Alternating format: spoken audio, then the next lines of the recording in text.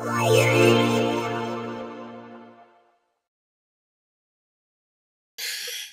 there, it's everyone's favourite blonde assistant here, Conrad Hughes for iSkySoft's PDF editor for Macintosh. Today we are going to be looking at how to rotate your PDF files using PDF Editor. Okay, it's not a scan PDF, okay, let's ignore that for now. So the first thing we're going to do is, there's three ways to do this one.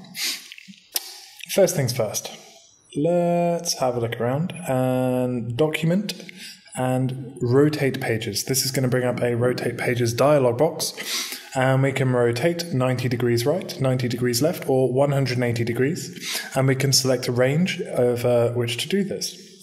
In which case, we're just going to use our current page. Uh, we could customize this using um, pretty standard uh, syntax there. And we're going to hit rotate, and now we have an upside down page. Now, had you scanned in your page the wrong way up, or, you know, however, then this would be extremely useful.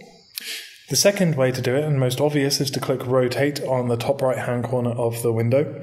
This is going to do a clockwise turn of 90 degrees.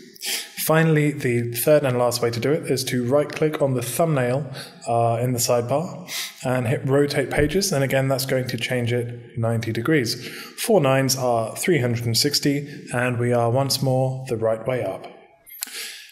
I've been Conrad for iSkySoft, and we've been looking at PDF Editor for Macintosh today on how to rotate pages. Let's save our work because we've made important progress. Thanks for watching, and I'll speak to you next time. Why?